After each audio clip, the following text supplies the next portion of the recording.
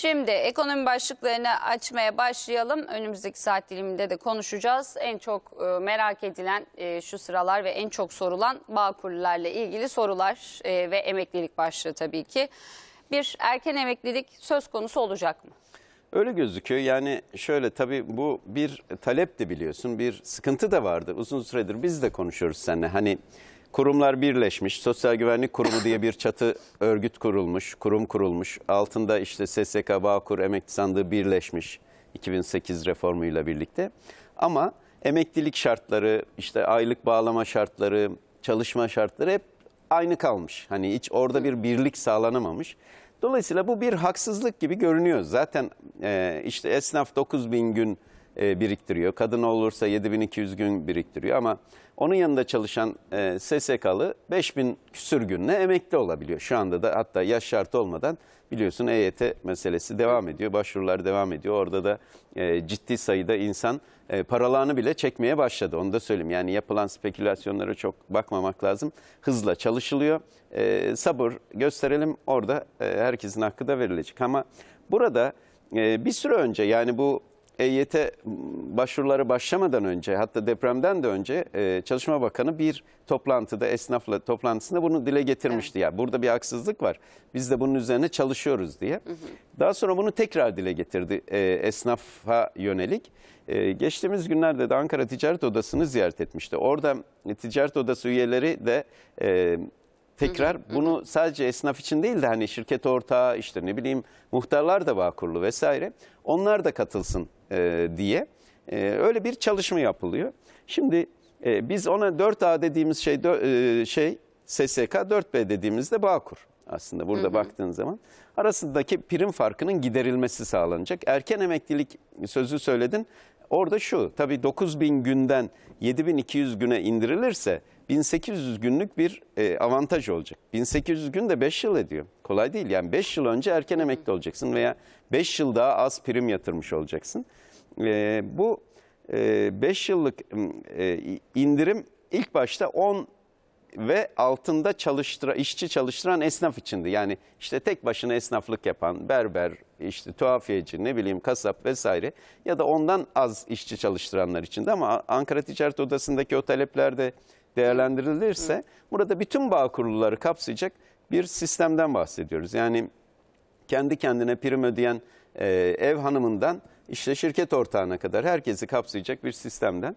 7200 gün e, denildiği için ben burada aslında e, sistem 2008 sonrasını kapsayacak diyorum ama şimdi şu anda mesela 9000 günü tamamlamak için uğraşan arkadaşlarımız var. Çok fazla e, Bağkur var. Diyelim ki bu düzenleme çıktı ve 7200 güne indi.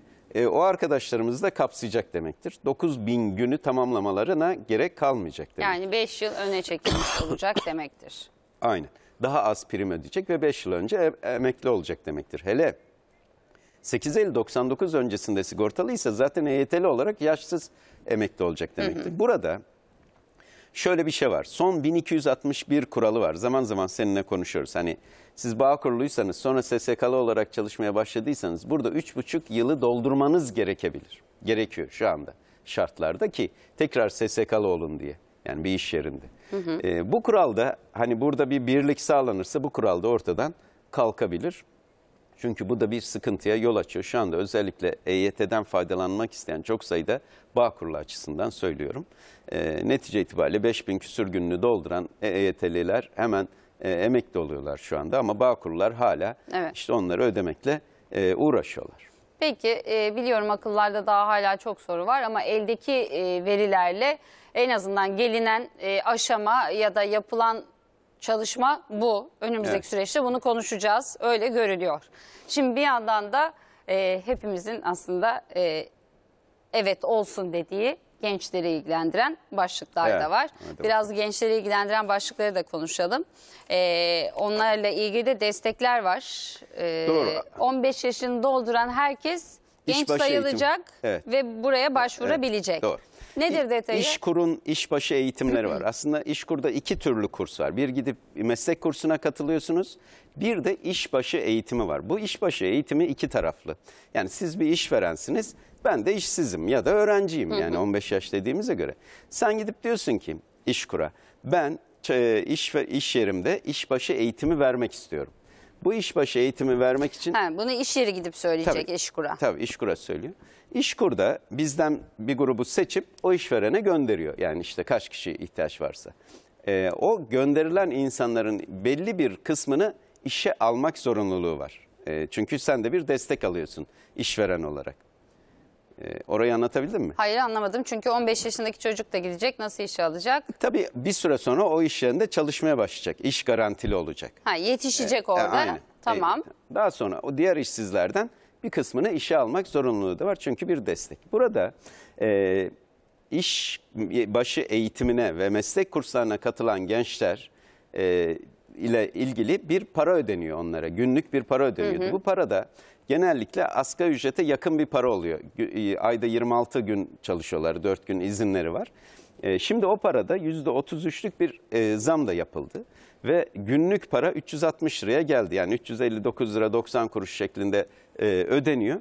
9 ayda toplam ödeme 84 milyonu milyon lirayı geçmiş 84 bin lirayı geçmiş olacak. Milyonlar ger- geride kaldı tabii 6 sıfır atıldı ama ben yaştakiler hala bazen biz milyon kullanıyoruz. Daha çok gençsiniz. Hatırlıyorsan bir yardım kampanyasında da öyle bir şey olmuş. Şimdi 84 bin Orada lirayı bambaşka bir şey olmuş. 84 bin lirayı geçecek.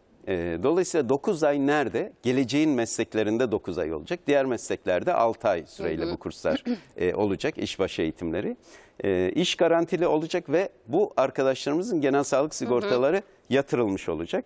E, kurslara nasıl katılacak diye soru soruluyorsa İşkur'un internet sitesinden ya da İşkur şubelerine gidip başvurabilirsiniz 15 yaş ve üstündeki arkadaşlarımız. Peki